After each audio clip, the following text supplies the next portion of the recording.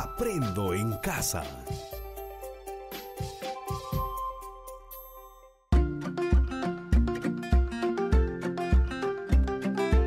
Queridos estudiantes, los invitamos a participar en el desarrollo de las sesiones de aprendizaje que hemos preparado para ustedes. Aprendo en casa.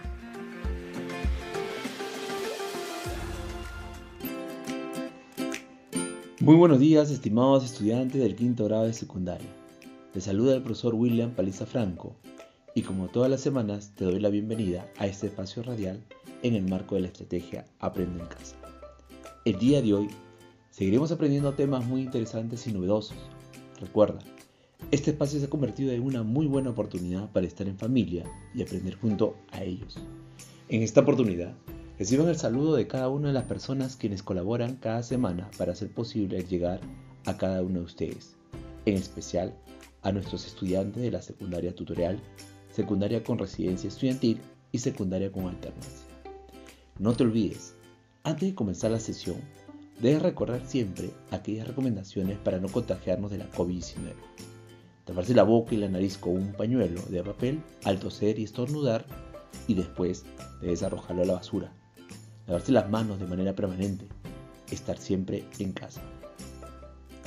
Antes de iniciar, te sugerimos lo siguiente. Estar acompañado de un adulto o hermano mayor. Él o ella te acompañará en esta experiencia de aprendizaje durante la emisión del programa. 2. Debes coordinar con tu familia para evitar cualquier tipo de interrupciones. 3 no olvides tener a la mano tu cuaderno de trabajo de comprensión lectora de quinto grado y secundaria, tu libro de antología literaria, un cuaderno o un blog de notas, así como hojas de papel y todo lo que necesites para tomar apuntes. Recuerda, todos los apuntes de las actividades desarrolladas deberás estar registrando y archivándolo en tu portafolio. 4. Tenga a la mano también un diccionario para consultar palabras que tenga dificultad en su significado. Pero antes, intenta identificar su significado desde la información que te da el propio texto. Estimados estudiantes del quinto grado de secundaria, el día de hoy nuestra sesión tiene como título Redactamos una editorial sobre el cuidado de la salud pública y tiene como propósito escribir una editorial con estructura textual compleja a partir de sus conocimientos previos y fuentes de información seleccionando el destinatario de manera autónoma, haciendo uso de diversos recursos cohesivos. Para lograr este propósito, vamos a desarrollar dos actividades. La primera consiste en planificar la producción de una editorial y la segunda actividad consiste en textualizar sus ideas según las convenciones de la escritura. ¿Qué te parece? Entonces, empezamos con la primera actividad. Actividad 1 planificamos la producción de una editorial. Estimados estudiantes del quinto grado de secundaria, recuerda, el día de hoy vamos a planificar y redactar una editorial para el cuidado de la salud pública en nuestra comunidad. En esta oportunidad vamos a tener nuevamente la visita de Kaori. Ella es alumna del quinto grado de secundaria en el Colegio Manuel González Prado. Hola Kaori, muy buenos días. Nos alegra contar nuevamente con tu presencia el día de hoy. Muy buenos días, profesor William, y gracias por la presentación. Kaori, durante el desarrollo de la primera sesión del mes, tus compañeros y tú revisaron todo tipo de información relacionada a la editorial y lo organizaron en un mapa conceptual. Esta información organizada y sistematizada es sumamente importante porque les ayudará en la redacción de su editorial. Asimismo, se sacaron conclusiones y sugerencias sobre la intención comunicativa de una editorial y se llegó a la conclusión que una editorial es un artículo periodístico no firmado que presenta un análisis y por lo general un juicio sobre una noticia de gran relevancia. Se trata de una nota que refleja la línea ideológica y la postura del medio de comunicación. Estimada Cory, luego de escuchar toda esta información, vamos a simular ser parte del equipo de periodistas de un periódico. ¿Qué te parece? Y a ti te corresponde elaborar una editorial para el cuidado de la salud pública en nuestra comunidad. Recuerda, no es fácil. Ya hemos visto que no cualquiera puede escribir una editorial. Así que es momento de movilizar todas nuestras habilidades comunicativas. Para planificar vuestra editorial, debes considerar los aprendizajes recibidos en las áreas de DPCC, ciencias sociales, matemática, ciencia y tecnología de ambiente y comunicación. Asimismo, se debe tener en cuenta para la construcción de una editorial, para el cuidado de la salud pública en nuestra comunidad, debes considerar la planificación, la textualización, la revisión, elementos que venimos trabajando durante estos meses para construir nuestra evidencia de la experiencia de aprendizaje. Estimados estudiantes, deben recordar, así como Kaori, que la editorial debe responder a los siguientes criterios. Desde DPCC debe explicar la problemática de la salud pública, considerando los cambios y la permanencia que se han dado en el Perú contemporáneo y cómo repercuten dichos cambios a la situación actual de salud pública. Desde ciencias sociales, debe proponer acciones para enfrentar los problemas de salud pública que les permita la protección de su vida, la de su familia y comunidad. Desde comunicación, se debe escribir de forma coherente, clara y sencilla, seleccionando de manera autónoma al destinatario y haciendo uso de un registro formal. Asimismo, se debe plantear una opinión mostrando coherencia y cohesión de las ideas en el texto que escribe. Desde Ciencia, Tecnología y Ambiente se debe argumentar sobre los efectos de las ondas electromagnéticas en el organismo y en la salud.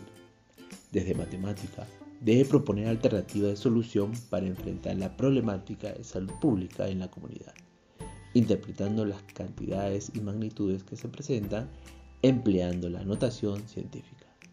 Recuerda, la sesión debe concluir con una editorial para el cuidado de la salud pública en nuestra comunidad. Kaori, ¿qué te parece si nos compartes cómo organizarías la planificación de tu editorial? Recuerda, vamos a simular ser, ser parte del gran equipo de editores de un periódico. ¿Sí? Te escuchamos, Kaori. ¿A quién estará dirigido? Está dirigido a mis padres y familiares más cercanos, tíos, abuelos, primos, sobrinos y a nuestro profesor. ¿Para qué escribiré? Para comprender y reflexionar a partir del análisis de las diversas fuentes sobre la importancia de participar en las acciones de salud pública que se implementan y que demandan la expresión del ejercicio ciudadano, para luego argumentar, asumir su posición y proponer sugerencias y recomendaciones. Gracias, profesor William. Para la redacción de mi editorial voy a considerar solamente dos elementos en esta oportunidad, la planificación y la textualización. Durante el desarrollo de la planificación utilizaré la información analizada en las demás áreas. Asimismo, voy a considerar los aprendizajes adquiridos. Desde DPCC se reconocen los problemas de salud en su comunidad y considera las posiciones de los diversos actores respecto al problema de salud para formular una propuesta de mejora del sistema de salud en su comunidad. Desde Ciencias Sociales se ha explicado las relaciones entre las principales enfermedades del siglo XX y XXI y su relación con los sistemas de salud pública. Desde comunicación se ha reconocido la información contrapuesta y ambigua que se encuentra en los distintos textos con la estructura compleja y se ha interpretado el texto, considerando información relevante al realizar una lectura intertextual. Asimismo, se ha explicado la información de los diversos tipos de texto informativos periodísticos, que lee y establece conclusiones de los diversos tipos de texto informativo argumentativo, y los organiza para incorporarlos en la construcción de un editorial. Desde matemáticas se ha identificado los tipos de virus y bacterias que afectan a la salud. Luego expresa su tamaño y notación científica. Asimismo, clasifican los virus y bacterias según su tamaño para promover el uso de mascarillas adecuadas para el cuidado de la salud de su familia. Desde ciencia y tecnología se ha explicado el comportamiento de los diferentes tipos de ondas, explica el uso de las radiaciones en la vida cotidiana y relaciona las ondas con la salud. Asimismo, plantea una opinión sobre los efectos de los campos electromagnéticos en la salud, Fundamenta con información científica su opinión. Profesor William, como verá usted, tengo organizado y sistematizado toda la información desarrollada en las demás áreas. Ahora me corresponde en esta parte armar un plan de escritura para la organización de un editorial, tal como hemos hecho cuando hemos redactado un artículo de opinión, así como también un texto argumentativo. En ese sentido, profesor William, voy a planificar mi editorial respondiendo a preguntas como ¿sobre qué escribiré? Sobre la problemática de salud pública, demanda a cada persona asumir con responsabilidad las medidas recomendadas para evitar el contagio y la propagación del COVID-19. Llegar a los ciudadanos y fortalecer las prácticas para promover la salud y la supervivencia basada en una adecuada higiene, alimentación y cuidado del medio ambiente. ¿Qué tipo de lenguaje utilizaré? Para elaborar el editorial se utilizará un registro formal. Recuerda, el hecho de que el editorial venga a ser como una bandera desplegada por el periódico a diario hace que su lenguaje, como el resto del medio, sea directo y sencillo, sin retórica innecesaria, y convenza a los lectores más que con una metáfora brillante, con argumentos sólidos, siendo sus imágenes literarias el producto de una reflexión y una reescritura concienzuda. Considero, profesor William, que las preguntas y respuestas pueden ir dentro de un cuadro de doble entrada, de la misma forma como se ha organizado la información durante la elaboración del plan de escritura del artículo o como el del texto argumentativo. Kaori, no olvides tener la claridad sobre el tema y la finalidad del editorial.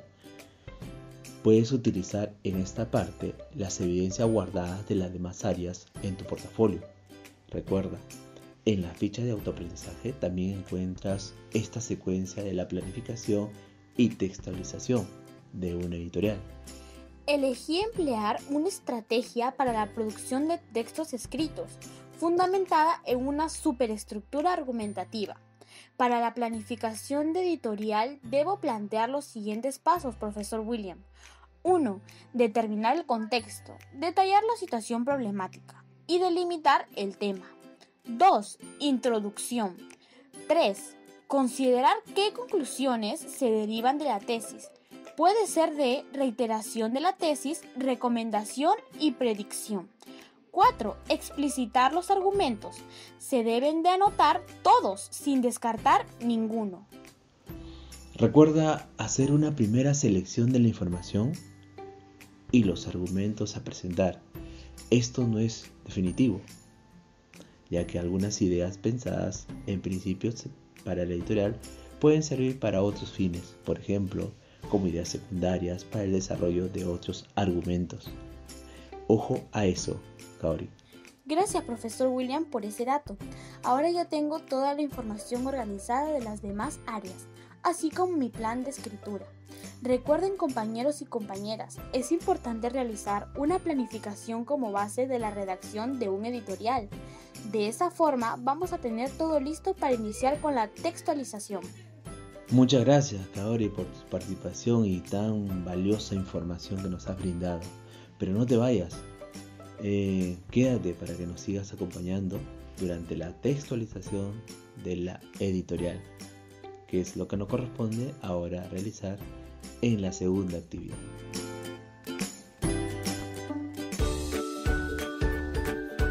Actividad 2. A continuación, la siguiente actividad consiste en textualizar sus ideas según las convenciones de la escritura. Estimados estudiantes, es momento de redactar nuestro primer borrador de un editorial para el cuidado de la salud pública en nuestra comunidad. Recuerda, al redactar un editorial debes considerar las siguientes características desarrolladas en el área de comunicación. Estas son A. Implica una toma de posición más o menos explícita respecto de un hecho informativo para el medio que lo publica. B. Comenta lo que el medio considera más importante en la actualidad de acuerdo con sus parámetros ideológicos y conceptuales. C. Se publica en un espacio permanente y aparece sin firma. D. Subraya conocimientos de lo que ya se informó. E. Proyecta el tipo ideal de sociedad. F es una especie de declaración de principio que adquiere validez cuando se puede aplicar a realidades concretas. Y G cobra mayor eficacia para la formación de opinión cuando argumenta que cuando se limita a condenar o a denunciar. Ojo, estas características del editorial los debes considerar al momento de empezar con tu producción. Asimismo, es sumamente importante considerar el tipo de editorial que vamos a redactar. Estas pueden ser A. Editorial de tesis. Dicha denominación se encuentra en los artículos en los que se intenta mostrar de manera clara y palpable la opinión a favor o en contra de un hecho o persona determinada. B. Editorial interpretativo. En este caso, podríamos determinar que es aquella que se caracteriza porque incluye desde causas o efectos hasta conjeturas y percepciones de un hecho o cuestión. C. Editorial de acción. Es mover al lector. Este es el principal objetivo que persigue este tipo de editorial, es decir, intentar conseguir que el receptor de esta actúe y adquiera una conciencia muy clara acerca de lo que se está contando. D. Editorial explicativo. Es aquella que básicamente se dedica a exponer y detallar toda una relación de hechos sin que en ningún momento se puedan deducir opiniones concretas sobre los mismos. Em, recuerda, ahora tendríamos que estar pensando a qué tipo de editorial corresponde nuestra producción de nuestra experiencia de aprendizaje. Correcto, en nuestro caso vamos a redactar una editorial de acción en donde cada área va a aportar de la siguiente forma. Desde DPCC ha propuesto acuerdos para evitar problemas de salud argumentando su posición sobre la mejora de la salud pública. Estas propuestas de acuerdos para la mejora de la salud pública y sustentando su posición serán tomadas en la redacción de la editorial. Desde, desde Ciencias y Sociales se tomará información del artículo histórico que explique los cambios y permanencias en los problemas de salud pública, haciendo referencia a fuentes de información sobre la salud en su comunidad, región o país. También se va a considerar las fuentes diversas utilizadas para explicar los cambios y permanencia que se produce en el proceso histórico referido a los problemas de salud pública. Serán tomados en la redacción de editorial. Desde comunicación se va a considerar escribir de forma coherente, clara y sencilla, seleccionando de manera autónoma el destinatario y haciendo uso de un registro formal. Ojo, se plantea tu opinión mostrando coherencia y cohesión de las ideas en el texto que se va a escribir, o sea, en nuestra editorial. Desde matemática, se tomará información de las sugerencias para enfrentar la problemática de la salud pública en su comunidad, empleando las operaciones en la notación científica, y va a justificar con ejemplos sus sugerencias para solucionar la problemática de la salud pública en la comunidad mediante las operaciones en notación científica. Estos puntos y conclusiones serán tomados en la redacción de la editorial. Desde Ciencia, Tecnología y Ambiente, se tomará información de, las opiniones sobre los efectos de los campos electromagnéticos en la salud. Fundamenta con información científica su opinión y asimismo expone evidencias que sustenten su opinión y serán tomadas en la redacción de la editorial. Ahora, organiza tu información seleccionada y empezamos a redactar nuestra primera versión. Estimados estudiantes, debes recordar que la editorial redactada debe responder al propósito de la experiencia de aprendizaje, que es comprender, reflexionar a partir del análisis de diversas fuentes sobre la importancia de participar en las acciones de salud pública que se implementan y que demandan la expresión del ejercicio ciudadano, para luego argumentar, asumir su posición y proponer sugerencias y recomendaciones. Asimismo, debe dar respuesta a los desafíos planteados en la experiencia de aprendizaje, como son qué enfermedades afectaron la vida de la sociedad peruana en el siglo XX y qué repercusiones tiene en el problema de salud actual. ¿Cómo podemos intervenir en la mejora de la salud pública en tu comunidad que permita la protección de tu vida, la de tu familia y por ende la de tu comunidad. ¿Qué argumentos utilizo para fortalecer el cuidado de la salud pública y de qué manera organizo espacio de reflexión sobre el cuidado de la salud? ¿Qué ocurre cuando nos exponemos a campos electromagnéticos y cuáles son los efectos biológicos en la salud?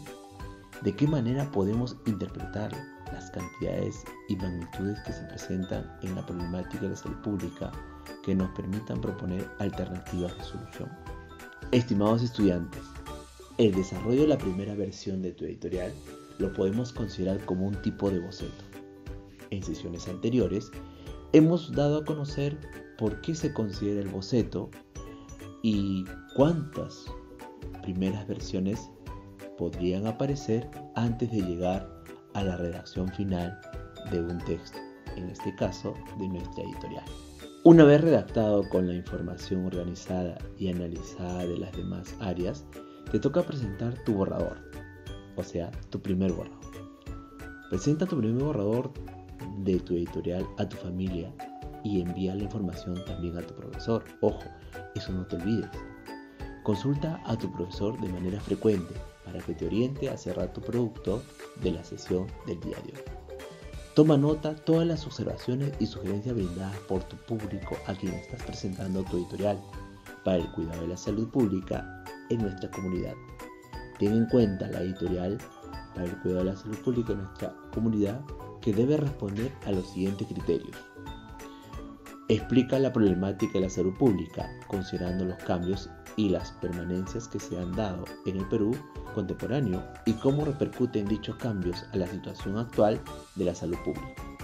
Propone acciones para enfrentar los problemas de salud pública que le permita la protección de su vida, la de tu familia y comunidad. Escribir de manera o de forma coherente, clara y sencilla, seleccionando de manera autónoma el destinatario haciendo uso de un registro formal. Plantea su opinión mostrando coherencia y cohesión de las ideas en el texto que escribe.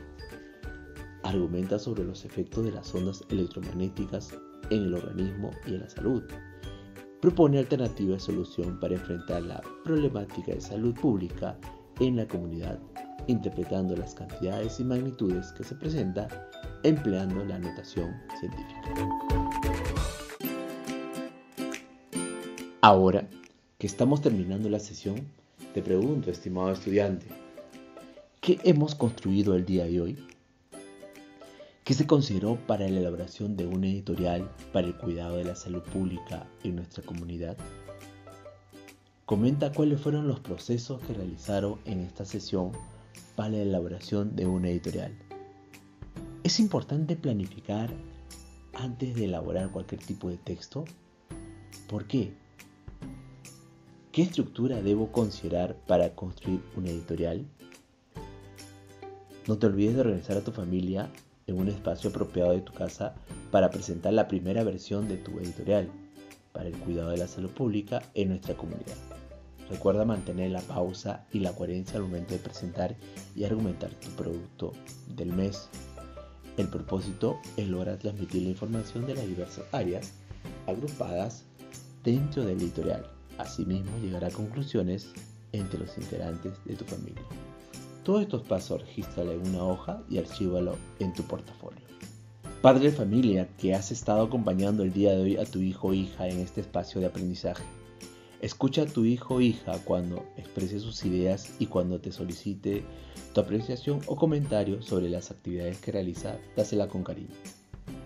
Asegúrate de un acompañamiento cercano que tu hijo o hija pueda planificar y desarrollar la tarea que se le ha consignado al final de la sesión definiendo los tiempos y plazos, estrategias, cómo lo va a hacer, etc.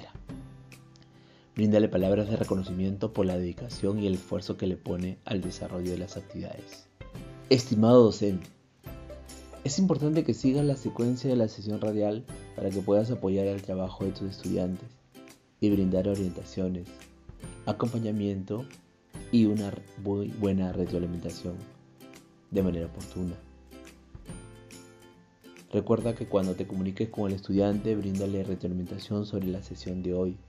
Pregúntale qué aprendizajes obtuvo y qué dudas tiene al respecto. Solicítale su producto del mes, que es una editorial para el cuidado de la salud pública en nuestra comunidad. Pregúntale cuánto tiempo le llevó preparar toda la información y cómo hizo para organizar la información de otras áreas. Asegúrate de acompañar al estudiante a cumplir con el propósito de la sesión del día de hoy, que es escribir una editorial con estructura textual compleja a partir de sus conocimientos previos y fuente de información, seleccionando el destinatario de manera autónoma, haciendo uso de diversos recursos cohesivos. Asegúrate que el estudiante defina sus tiempos y estrategias para mejorar su producto. Oriéntale cómo organizar su producto en el portafolio. Hasta nuestro próximo programa.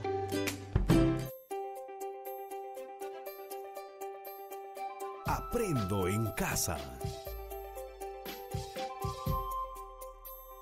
Ministerio de Educación. Gobierno del Perú. El Perú primero.